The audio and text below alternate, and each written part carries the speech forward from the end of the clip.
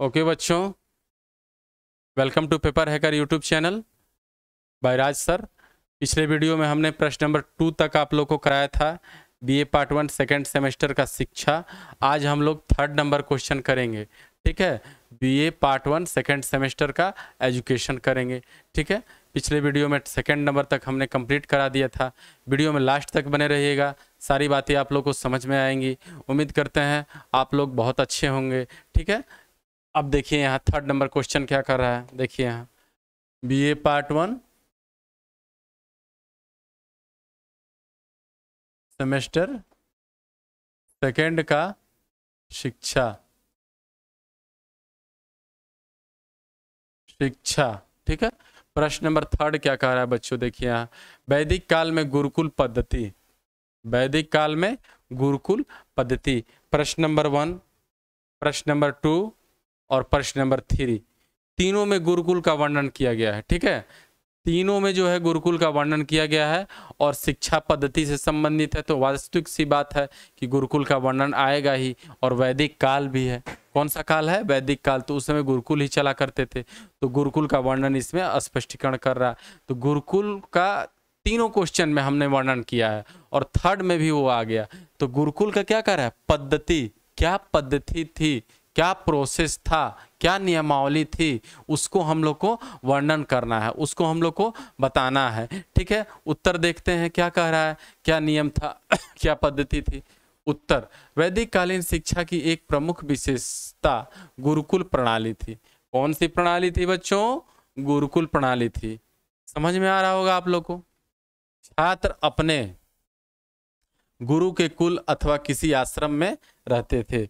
छात्र अपने गुरु के कुल अथवा किसी आश्रम में रहते थे, ठीक है? वहीं रहकर वे ज्ञान का अर्जन करते थे। वहीं रहकर वे क्या करते थे?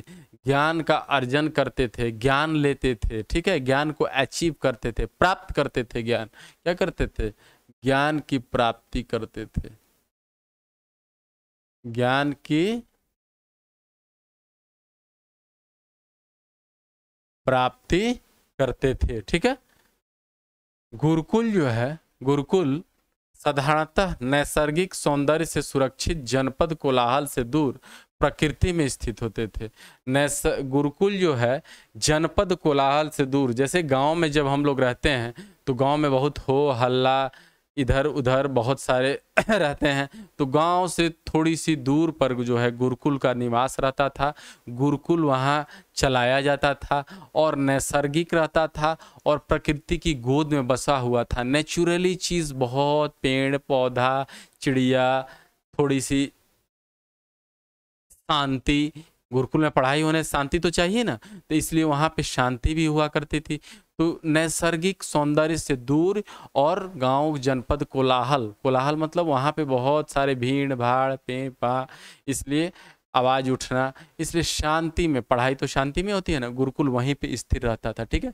परंतु परंतु क्या कह रहा है बच्चों, देखिए, वे किसी गाँव या नगर के समीप अवश्य होते थे। हमने अभी बताया आपको कि वो गाँव से थोड़ी सी दूर पर नियरेस्ट गाँव के नज़दीक जो है हुआ करते थे, समीप हुआ, जिससे उनमें निवास करने वाले छात्रों की अल्प, उसमें जो छात्र निवास करते थे तो उन छात्रों को कपड़ा, भोजन और सारे, बहुत सारे चीज़ें, पढ़ने, लिखने की, पठन पाठन की विधि चीज़ें।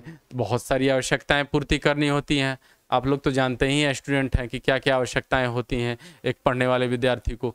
तो वो सब आवश्यकताएँ पूरी करनी होती थी। तो गुरुकुल उस समय कहाँ से उतना हाईटेक जमाना का थोड़े विद्यालय और विश्वविद्यालय और बहुत सारे स्कूल हैं कि जो सब पूर्ति करेंगे। तो गुरुकुल हुआ करता था तो गाँव के समीप हुआ करता था। और गाँव के समीप हुआ करता था तो विश्व जो है, वहाँ से गाँव से, जो है, छात्रों की उपयोगिता की जितनी सामानें हैं, वो पूर्ति कर, की जाती थी। तो इनकी उनमें निवास करने वाले छात्रों की अल्प आवश्यकताओं की पूर्ति हो सकती थी। ठीक है, समझ में आ गया? छात्र अपने गुरु के दो परिवार में, उसके सदस्य के रूप में रहकर ज्ञान अर्जन करते थे। छात्र अपने गुरु के दो परिवार में जो रहकर उसके सदस्य के रूप में जो है ज्ञान अर्जन करते थे। वे उससे वास्तविक जीवन की शिक्षा प्राप्त करते थे। वे उससे क्या करते थे? वास्तविक जीवन की शिक्षा प्राप्त करते थे। वे गुरु के उच्च विचार गुरु के जो विचार थे उस समय के उच्च विचार के गुरु हुआ करते थे, ठीक है? उच्च विचार व आदर्शों का हर प्रकार से अनुकरण कर अपने श्रेष्ठ जीवन का निर्माण करते थे। वे गुरु के अपने जितने भी पढ़ाए हुए चीज़ हैं, जितने भी बताए हुए चीज़ हैं, उनका अनुकरण करते थे और जो है श्रेष्ठ जीवन जीने का निर्माण करते थे। गुरु, गुरुकुल पद्धति जो थी, गुरुकुल पद्धति की सराहना करते हुए डॉक्टर एस एन मुखर्जी गुरुकुल पद्धति की कौन सराहना किए एस एन मुखर्जी ने लिखा है कि वैदिक कालीन भारत शिक्षा की पारिवारिक प्रणाली में विश्वास करता था। वैदिक कालीन एस एन मुखर्जी ने लिखा है, क्या लिखा है बच्चों? कि वैदिक कालीन जो भारत की शिक्षा थी, वो जो है पारिवारिक प्रणाली में विश्वास करती थी और न कि शिक्षा संस्थाओं में। शिक्षा संस्थाओं में संस्थाओं